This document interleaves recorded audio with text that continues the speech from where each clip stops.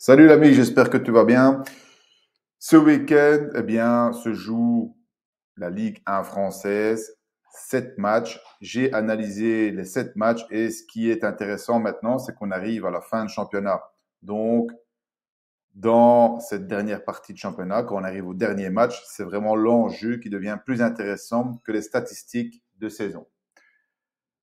Et il y a un match très intéressant ce week-end en bas de tableau. Le match, c'est Brest contre Auxerre. Alors, je vais te dire pourquoi il est intéressant, mais avant de te donner mon conseil pour ce match et la manière de l'aborder, je te demande de prendre quelques secondes pour t'abonner à ma chaîne YouTube si ce n'est pas déjà fait. Je te remercie d'avance. Alors, pourquoi ce match est-il intéressant? Ça se passe en bas de tableau ici. Donc, on a la 34e journée. Il reste 4 journées en Ligue 1 française. On descend de la 17e position à la 20e position.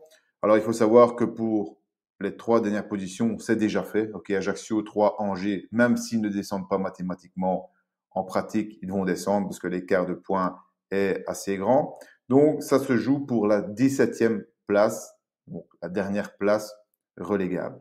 Ça se joue entre quatre équipes. Nantes à 32 points, Auxerre 34 points, Brest 35, Strasbourg 35. Ensuite, voilà, il y a un écart de sécurité pour Toulouse. Donc, c'est surtout entre ces quatre équipes. Et Brest rencontre Auxerre. Alors, à Brest. Donc, c'est un match à 6 points, vu que Auxerre a 34, Brest a 35 points. Et si tu regardes ici, Nantes a 32 points. Donc, seulement 2 points d'écart avec Auxerre. Donc, on va dire que Auxerre est à 2 points de descente et Brest est à 3 points de descente. Ces deux équipes se rencontrent, donc ça va être un match très, très intéressant. Tu tu as des stats de saison, mais qui sont moins importantes pour moi. Donc, à ce stade-ci, vu que c'est vraiment l'enjeu qui va eh bien, qui détermine cette sélection. Il faut savoir que ce que je conseille pour ce pari, alors si c'était en pré-match, tu pourrais aller sur le BTTS ou l'over 2,5, mais je ne vais pas conseiller un pré-match ici. Pourquoi? Parce que je vais te remettre le classement ici. Il faut quand même faire attention à quelque chose. C'est d'observer le match avant. Pourquoi? Parce que je ne suis pas dans la tête des deux équipes. Mais les deux équipes peuvent quand même se dire avec un point, on est bon si Nantes perd. Il faut savoir que Nantes se déplace à Monaco. Se déplace ou reçoit, je ne sais plus, il faut regarder. Mais Nantes joue contre Monaco. OK? Donc, si les deux équipes se disent, eh bien, Nantes perd et nous, avec un point, on creuse encore un peu l'écart, eh bien, ça ne m'arrange pas pour le nombre de buts. OK? Vu que le 0-0, voire le 1-1, bref, un match serré, un petit match nul, peut satisfaire les équipes. C'est pourquoi il faut absolument confirmation pendant le match. Donc, observe les 15-20 premières minutes ok, pour avoir eh bien, la confirmation que les deux équipes veulent vraiment gagner, remporter ce match. Et là, tu peux rentrer sur un over 2,5. Ok, il faut savoir que le plus de 2,5 buts est à 2,26 en pré-match. Donc, très bonne cote. Ça sera encore plus élevé si tu rentres à la 15e, à la 20e minute ou plus tard. Ok, mais très bonne cote pré-match. Et ce qui est bien dans ce match, c'est que à partir du moment où une équipe va marquer, imaginons que Auxerre ouvre le score, passe à 37 points, eh bien Brest devra tout donner hein, pour soit faire match nul, soit même remporter ce match, mais en tout cas l'autre équipe devra absolument bouger, hein, parce qu'il faut quand même éviter la défaite. Hein. Nantes, je rappelle, n'est qu'à 2 voire 3 points d'écart. Donc il faut absolument éviter la défaite pour les deux équipes.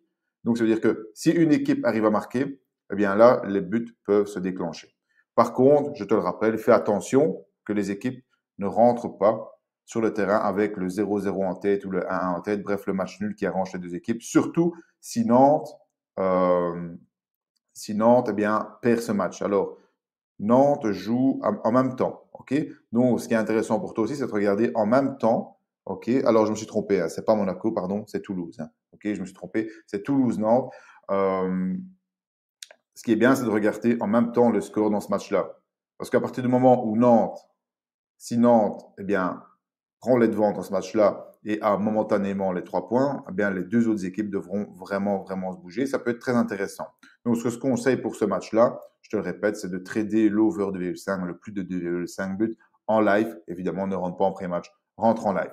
Alors, tu ne sais peut-être pas comment trader efficacement et de manière intelligente l'over 2,5. Donc, pour ça, j'ai écrit récemment un guide, le guide pour trader. Donc, c'est un guide complet et avancé pour trader le l'over 2,5. On n'est plus dans une stratégie simple, on est vraiment dans une stratégie complète avec les points d'entrée, les points de sortie, en fonction des statistiques live, en fonction du score évidemment, quand rentrer, quand ne pas rentrer, il faut savoir tout ça, quand sortir aussi, quand sécuriser, etc. Bref, exactement la stratégie que j'applique, plus la manière dont je sélectionne les matchs, vu que la sélection des matchs, comme je fais ici, est aussi primordiale. Hein. On ne traite pas n'importe quel match en over 2,5, il faut bien sélectionner ces matchs au départ. J'explique exactement ma routine d'analyse. Je te laisse le lien dans la description de cette vidéo et tu peux te procurer mon guide pour trader, mon guide complet pour trader l'over 2,5 en live sur un betting exchange, évidemment.